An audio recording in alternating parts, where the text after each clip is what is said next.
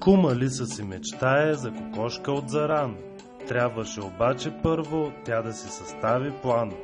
Как през селото да мине и спокойно да върви, как и кучетата селски някак си да заблуди.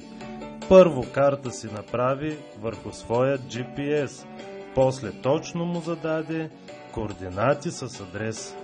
Черни дрехи се облече, да се слее с нощта и нахлузи си качулка върху своята глава.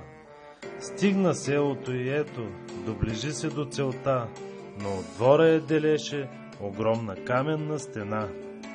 Но подготвена Лисана беше и за този момент. Долу дупка прокопа си със специален инструмент.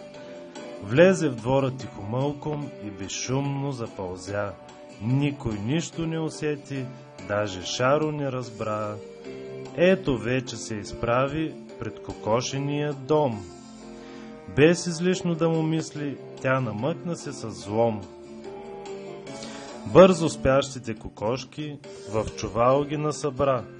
Даже петлю завалият в миг при тях се озова. Тръгнали са да си ходи с препълнена турба, без да види, че с аларма оборудване дома.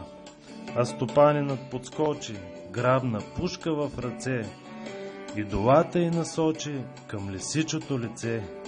Лиса много се изплаши и направо онемя. Хвърли настрани чувала и побегна през глава, а стопанинът ядосан стреляше на поразия. Цялото село събуди, дигна страшна олилия. Чиска смет си беше, че избяга жива, па макар и доста гладна, Лиса бе щастлива.